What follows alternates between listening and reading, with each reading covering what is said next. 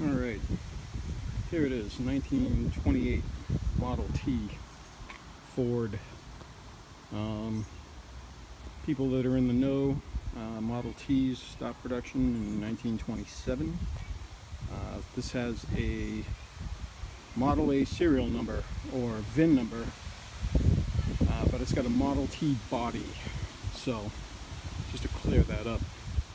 Uh, 350 Chevy small block Summit carburetor. Um, let's see. Uh, everything's been done to it. Um, runs runs like a top. Starts right up. Uh, I've got the other video of it running. Um, it's been fully maintained. Uh, everything adjusted. Everything is good. Motor is super strong.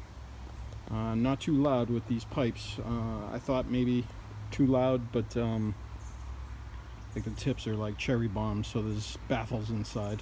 And uh, even when you stand on it, it's not overly obnoxious, which is a good thing.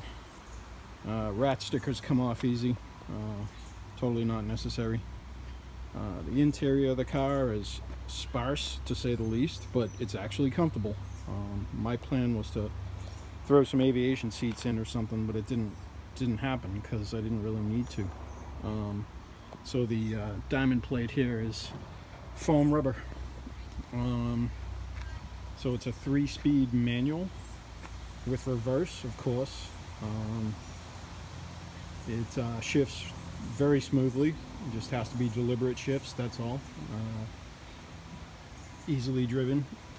Um, gauges got your water temperature and your oil oil pressure always runs about 60 55 60 65 somewhere in that neighborhood. Water temp I've never seen it go above 180 um, even in traffic. Uh, this thing runs pretty cool as far as that goes. Uh, gas tank. With gas gauge. I don't know if you can see that. Probably not. Uh, wire wheels all the way around. Seat belts were put in recently. Uh, I wanted those for safety. It didn't have them. Uh, disc brakes up front, drums in the rear. Uh, brakes are excellent. Uh, everything's brand new.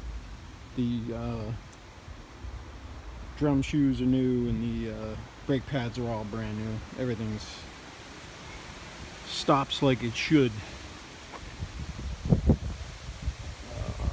I don't know what else to say. Uh, car's a runner. Runs and drives very well. And uh, there it is. Ask any questions.